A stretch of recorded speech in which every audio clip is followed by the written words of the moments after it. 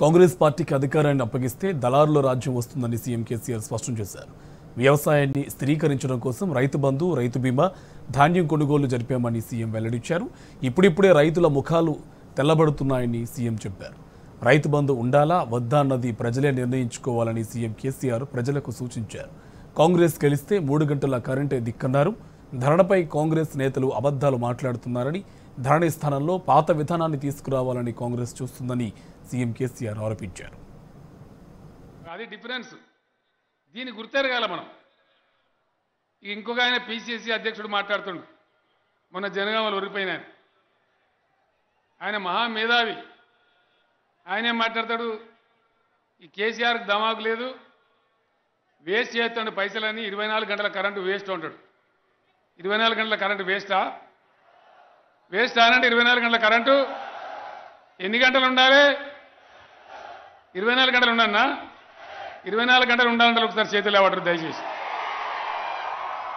ఉండాలి కదా? ఇరవై నాలుగు గంటలు ఉండాలంటే కూడా పల్లారాజేశ్వర రెడ్డి గారు గెలవాలి. కాంగ్రెస్ వాడు గెలిచిండు అనుకో మూడు గంటలకు వస్తుంది కర్ణాటకలో మొన్న ఎలక్షన్ జరిగింది. ఎలక్షన్ జరిగి ఏమైంది? ఆడ ఇరవై గంటల కరెంట్ మీకు ఇస్తామని నరికిండ్రు ఇదే కాంగ్రెస్ వాళ్ళు. ప్రజలు నమ్మి ఓట్లేసారు ఇలా ఐదు గంటలు ఇస్తాను. చెప్పేది ఐదు గంటలు మూడే గంటలు ఇస్తాను. వాళ్ళు మన బార్డర్ మీద ఉంటారు చాలామంది. వాడు గద్వాలకు మక్తలకు వచ్చి మేము కాంగ్రెస్ కేసి మునిగిపోయినా మీ దండం పెడతామరా మీరు వేయకుండా అని మన వాళ్ళకి చెప్తున్నారు వాళ్ళు రోజు వచ్చి. ఏ మక్తల్ల నారాయణపేట గద్వాల. కర్ణాటకలో ఒక ఆయన వచ్చిండు. ఉప ముఖ్యమంత్రి అక్కడ. శివకుమార్ అని వచ్చిండు ఆయన చెప్తాడు కేసీఆర్ నీకు తెలుసా మా గొప్పతనం? మేము ఐదు గంటలు కరెంట్ ఇస్తున్నాము అన్నాడు. నేనంటే నీ అమ్మ సన్నాసి మేము ఇరవై నాలుగు గంటల కరెంటులో ఉన్నాం. నాయన నువ్వు ఐదు గంటలు ఐదు గంటలోనికి వచ్చి మాకు చెప్తే శుద్ధులు చెప్తే మేము నవ్వాన్నా ఏడవాన్నా ఇదేంది? ఇగో ఇట్లున్నది కాంగ్రెస్ వాళ్ళు వ్యవహారం అందుకోసం ఇది ఎట్లున్నదంటే తన ఇంటి సూర్యుడు చదువుకున్నాడు నేను సూర్యుని పట్టుకొస్తా అని చెప్పినట్టు ఉన్నది కథ. ఇల్లు సూర్యునే సగబెట్టాడు నేను సూర్యుని పట్టుకొస్తా అంటాడు. మనం నమ్మాలి. అంతే కదా? ఇది పరిస్థితి. తర్వాత అన్నిటికన్నా ప్రమాదకరమైన మాట. నిన్న బట్టి విక్రమార్క అదేదో టీవీ ఛానల్ చెప్పిన కొంచెం చెప్పి నేను కూడా విన్నా. రికార్డు చేసి చూపించారు నాకు. ఏం చెప్తాడు ఆయన? ధరని తీసి బంగాళాఖాతంలో ఇస్తాం. మళ్ళీ పాత పద్ధతి తీసుకొస్తాం. అంటే మళ్ళీ విఆర్ఓలు గిరిదావలు ఎంఆర్ఓ మళ్ళీ వస్తారు. ఇలా ధరణి ఉంది. మీ భూములు సేఫ్గా ఉన్నాయి. ధరణి భూములు మార్పిడిది ప్రభుత్వం దగ్గర ఉన్న అధికారాన్ని తీసి మేము ఏం చేసినాం? మీ బొటనవేలికి అధికారం ఇచ్చినాం.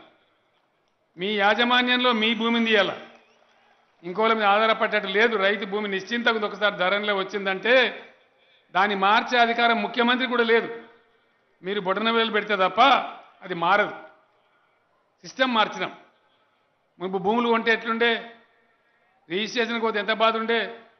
ఇలా ఇవ్వాలి మండల కేంద్రంలో వాళ్ళకి రిజిస్ట్రేషన్ వెంటనే ముటేషన్ వెంటనే పట్టా. సైట్లో వస్తూనే ఉంటుంది. మునుపు పట్టా కావాలంటే మునుపు పట్ట కావాలంటే ఎన్ని రోజులు? ఆరు నెలలు ఏడాది రెండేళ్ళు. రిజిస్ట్రేషన్ అయినాక అయినాక ఒకనోనికి మూడేళ్ళ దాకా కూడా పట్ట కాపు ముట్ట చెప్పేది ముట్ట చెప్పినా కూడా కాపు. ఇవాళ ఉన్నదా బాధ? అంటే బాధ కథ మళ్ళీ పాత కథ మొదలు పెడతారు అన్నట్టు కాంగ్రెస్ వచ్చి. అంతే కదా? ఇంకో మాట మీరు ఆలోచన చేయాలి. ధరను తీసేస్తారు వీళ్ళు మంచి మాటని. ఇవాళ మేము రైతు బంధు పంపుతా ఉన్నాం. రైతు బంధు మేము హైదరాబాద్లో రిలీజ్ చేస్తే మీ సెల్ ఫోన్లన్నీ టింగు టింగుమని మోగుతాయి మీరు చూసుకుంటే బాగా చెప్తా బ్యాంకులో డబ్బులు ఉంటున్నాయి అంతే కదా? ధరణి బంద్ చేస్తే మరి డబ్బులు ఎట్లా వస్తాయి? రైతు బంద్ ఏ విధంగా వస్తుంది? ఇలా వడ్లు అమ్మిన డబ్బులు కూడా మీ బ్యాంకులో ఇస్తా ఉన్నాం మేము. మరి రేపు ఎట్లా వస్తాయి? రైతు బంధు ఏమంటారు?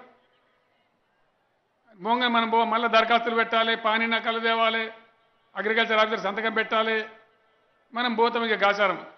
ఏమంటాడు? నీకు ఎన్ని ఎకరాలన్నది ఓ ఏడు ఎకరాలన్నది అనుకో. ఎంత వస్తుంది నీకు రైతు బంధు? ఏడాదికి డెబ్బై వేలు వస్తుంది లవ్ ముప్పై వేలు నాకు ఈ లేకపోతే సంతకం పెట్టాంటాడు ఏం చేస్తావు అప్పుడు? అప్పుడు నువ్వేం చేయలేవు నేనేం చేయలేను కేసీఆర్ కూడా ఏం చేయలేడు.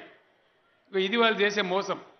అంటే మళ్ళా దళారి రాజ్యం మళ్ళా పైరవకారుల రాజ్యం ఎల్లే భూమిని మల్లేకి రాసి మల్లే పుల్లేకి రాసి జుట్లు ముడేసి తాకట్లు పెట్టి పంచాయతీలు పెట్టి ఆఫీసుల చుట్టూ దింపి వాళ్ళ రక్తం తాగటానికైనా మళ్ళా ఇవాళ పెరిగిన ధరలకు భూముల ధరలకు ఎన్ని పంచాయతీలు అవుతుండే ధరని లేకపోతే ఎన్ని లంగతనాలు అవుతుండే ఎన్ని తలలు పలుకుతుండే ఇలా సమాజం శాంతిగా ఉన్నది.